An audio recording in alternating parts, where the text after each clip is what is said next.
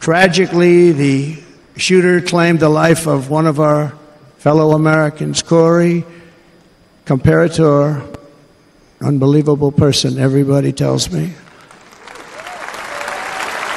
Unbelievable.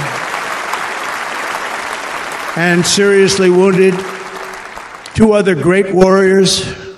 Spoke to them today. David Dutch and James Copenhaver. Two great people. I also spoke to all three families of these tremendous people. Our love and prayers are with them and always will be. We're never going to forget them. They came for a great rally.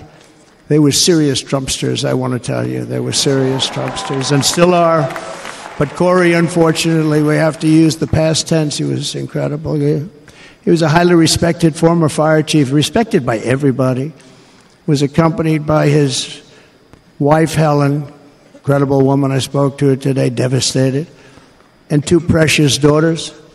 He lost his life selflessly acting as a human shield to protect them from flying bullets. He went right over the top of them and was hit. What a fine man he was.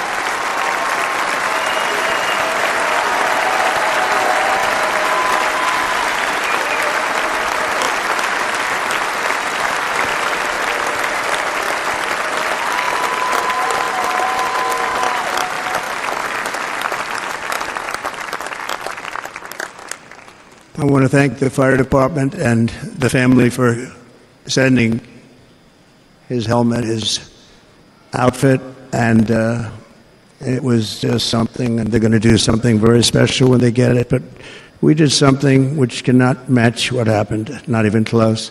But I am very proud to say that over the past few days, we've raised $6.3 million.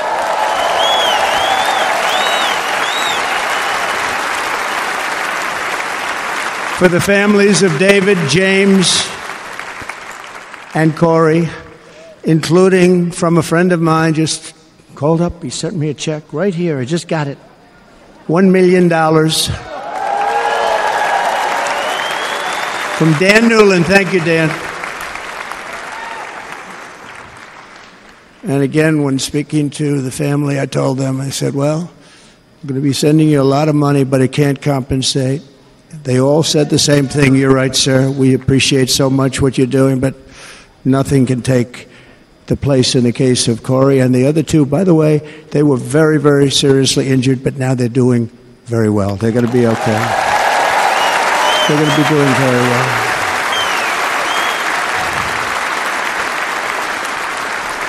They're warriors.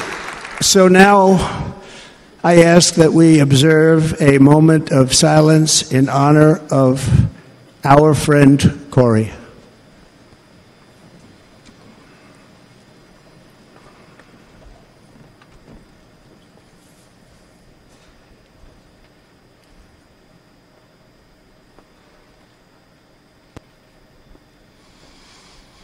There is no greater love than to lay down one's life for others.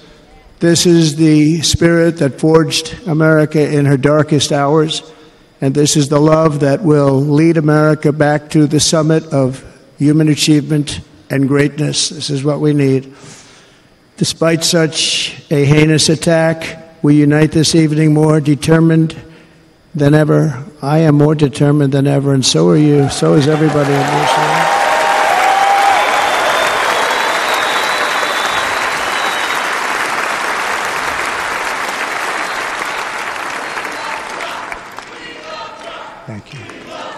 Thank you very much.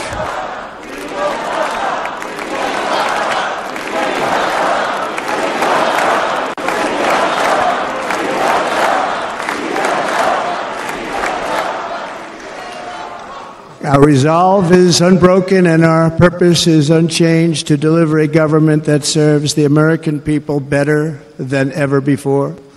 Nothing will stop me in this mission because our vision is righteous and our cause is pure. No matter what obstacle comes our way, we will not break, we will not bend, we will not back down, and I will never stop fighting for you, your family, and our magnificent country.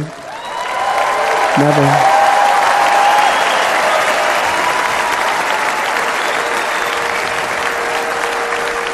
And everything I have to give with all of the energy and fight in my heart and soul, I pledge to our nation tonight. Thank you very much. I pledge that to our nation. We're going to turn our nation around and we're going to do it very quickly. Thank you.